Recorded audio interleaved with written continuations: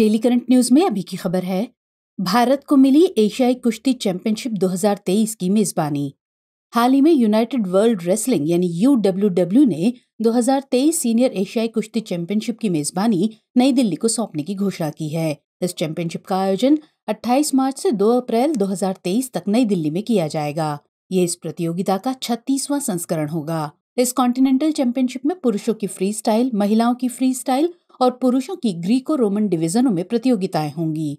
साथ ही इस ranking series प्रतियोगिता के दौरान पहलवानों को उनके वज़न में दो किलोग्राम तक की छूट को भी स्वीकृति दी गई है। इस कदम से पहलवान भविष्य की रैंकिंग सीरीज़ प्रतियोगिताओं में अधिक भार वर्ग की जगह अपनी पसंद के भार वर्ग में प्रतिस्पर्धा पेश कर पाएँगे। आपको बता दें कि पिछले साल मंगोलिया में आयोजित एशियाई चैंपियनशिप में भारतीय पहलवानों ने कुल सत्रह पदक, इनमें से एक स्वर्ण, पाँच रजत और ग्यारह कांस्य जीते थे। उन्नीस सौ उनासी में इस चैंपियनशिप की शुरुआत हुई थी। इसके उद्घाटन संस्करण की मेजबानी भारत के जालंधर शहर ने की थी। अंतिम बार नई दिल्ली ने फरवरी 2020 में इस टूर्नामेंट की मेजबानी की थी। इसके अलावा नई दिल्ली अब तक सातवीं बार, जबकि भारत नौवीं बार इस एशियाई कुश्ती चैंपियनशिप की मेजबानी कर रहा है।